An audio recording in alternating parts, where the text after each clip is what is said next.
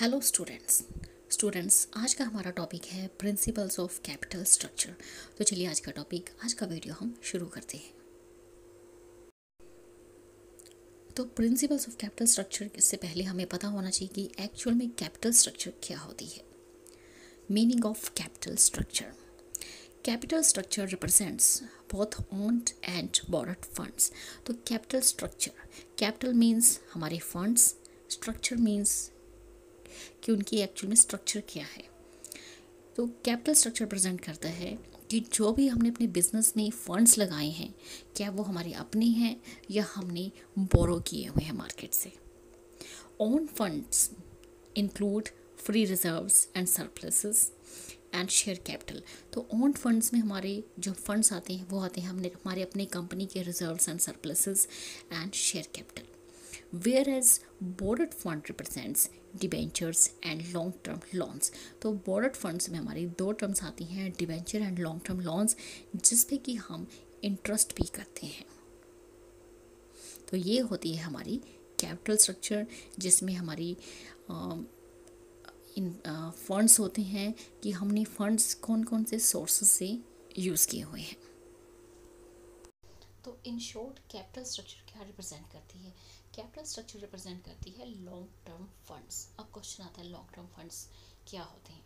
तो long term funds में हमारे आते हैं equity share capital plus preference share capital plus reserve and surplus and plus long term loans तो ये सब चीज़ों का टोटल करके equity share capital preference share capital reserve and surplus plus long term loans जो भी हैं हमारे बिज़नेस में कंपनी में, उन सब का एडअप करके हमारे बनते हैं लॉन्ग टर्म फंड्स और लॉन्ग टर्म फंड्स ही रिप्रेजेंट करते हैं हमारी capital structure को। A firm should always try to design its capital structure in a way which would maximize shareholders profit. तो कोई भी फर्म हो, उन्हें अपनी कैपिटल स्ट्रक्चर इस तरीके से डिज़ाइन करनी चाहिए कि वो अपने शेयर होल्डर्स की जो, का जो प्रॉफिट है, उसे ज़्यादा से ज़्यादा मैक्सिमाइज कर सकें। It is due to this the concept of optimum capital structure has evolve तो इस वजह से ही कि हमने अपने शेयर होल्डर्स का जो प्रॉफिट है, वो ज़्यादा से ज़्यादा करना है। तो इस वजह से ही हमारा जो कंसेप्ट है ऑप्टिमम कैपिटल स्ट्रक्चर इवॉल्व हुआ है। The optimum capital structure may be defined as that financing mix of the firm which will lead to maximise value of the firm तो ऑप्टिमम कैपिटल स्ट्रक्चर हम किस तरह से define कर सकते हैं? कि जो भी हमारे फर्म में फाइनेंसेस हम यूज़ कर रहे हैं, उनका मिक्स ऐसा होना चाहिए जिससे कि हमारी फर्म की जो वैल्यू है, वो मैक्सिमम हो सके। In other words optimum capital structure refers to the best possible combination of debt or equity funds which would maximize the value of the firm. तो ऑप्टिमम कैपिटल स्ट्रक्चर रेफर करती है best combination of debt ऐसा combination होना चाहिए, ऐसा possible combination होना चाहिए होना चाहिए जिसमें कि हमारे जो डेट्स हैं और इक्विटी फंड्स इस तरह से होने चाहिए जिससे कि हमारी जो वैल्यू ऑफ़ फर्म है वो मैक्सिमाइज हो सके। तो उसे हम कहते हैं ऑप्टिमम कैपिटल स्ट्रक्चर नेक्स्ट है principles of capital structure while designing the capital structure of a firm a manager is influenced by certain principles they are as follows तो किसी भी फर्म की जब हम कैपिटल स्ट्रक्चर को डिज़ाइन करते हैं तो मैनेजर को काफ़ी सारे प्रिंसिपल्स देखने पड़ते हैं कैपिटल स्ट्रक्चर डिज़ाइन करते हुए।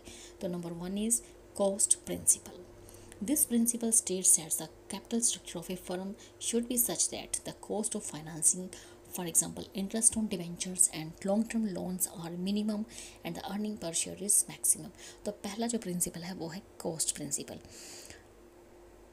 इस प्रिंसिपल के अंडर हमें अपनी कॉस्ट कैपिटल स्ट्रक्चर इस तरह से डिज़ाइन करनी चाहिए कि इस, जो हमारी इसमें कॉस्ट ऑफ़ फाइनेंसिंग है, जो हम अपने डिवेंचर्स पे इंटरेस्ट देते हैं या लॉन्ग टर्म लोन्स पे इंटरेस्ट देते हैं, वो हमारा मिनिमम होना चाहिए, कम से कम होना चाहिए।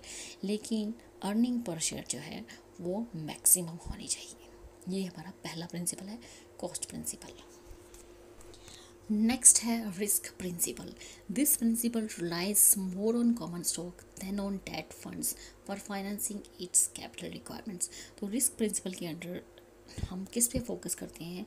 हम फोकस करते हैं कि हमें जो यूज़ करना चाहिए, वो यूज़ करना चाहिए common stock than on debt funds financing के लिए हमें मेनली कॉमन स्टॉक पर ज़्यादा रिलाई करना चाहिए, ज़्यादा भरोसा करना चाहिए as compare to debt since debt funds like debentures et cetera involve fix interest charges जैसा कि हमें पता है कि जो हमारे डिवेंचर्स होती हैं या लॉन्ग टर्म फंड्स होते हैं, इन पे हमें इंटरेस्ट पे करना पड़ता है। And the company is under an obligation to pay the same irrespective of profit or loss. It involves larger risk. और डिवेंचर्स पे हमें इंटरेस्ट जो है एनुअली पे करना ही पड़ता है, चाहे हमें प्रॉफिट हो, चाहे हमें लॉस हो हमारी कंपनी को। तो इस तरह से जो हमारे डिवेंचर्स हैं, ये काफ़ी लार्जर रिस्क के होते हैं। इसे यूज़ करना काफ़ी रिस्की काम होता है। On the contrary common stock do not carry any such obligations लेकिन अगर दूसरी तरफ़ हम अपनी इक्विटी शेयर कैपिटल यानी कि कॉमन स्टॉक को यूज़ करते हैं तो यहाँ पर हमारी ऐसी कोई ऑब्लिगेशंस नहीं है कि हमें पे करना होता है कुछ इंटरेस्ट वगैरह इस तरह से। तो एज़ कंपेयर टू हमारे ये जो है कॉमन स्टॉक हैं या इक्विटी शेयर कैपिटल है तो ये लेसर रिस्क की होती है। इसमें कम रिस्क इन्वॉल्व होता है। तो इस प्रिंसिप रिस्क प्रिंसिपल के under this principle less emphasis on use of stock common stock instead of debt capital तो रिस्क प्रिंसिपल के अंडर हमें ये कहा जाता है कि हम ज़्यादा से ज़्यादा कोशिश हो, हम कॉमन स्टॉक यानी कि इक्विटी शेयर कैपिटल का यूज़ करें इंस्टेड ऑफ़ डेट कैपिटल बजाय हम डेट कैपिटल का यूज़ करें। तो यहाँ पे हमारा फोकस होता है कॉमन स्टॉक कैपिटल का इस्तेमाल करना, जो कि कम रिस्की होती है। नेक्स्ट है third control principle according to this principle the existing controlling position of the residual owner should remain undisturbed तो कंट्रोल प्रिंसिपल के अंडर हम ये देखते हैं कि जो भी हमारा पहला कंट्रोलिंग पोजीशन था ऑनर का, वो डिस्टर्ब नहीं होना चाहिए।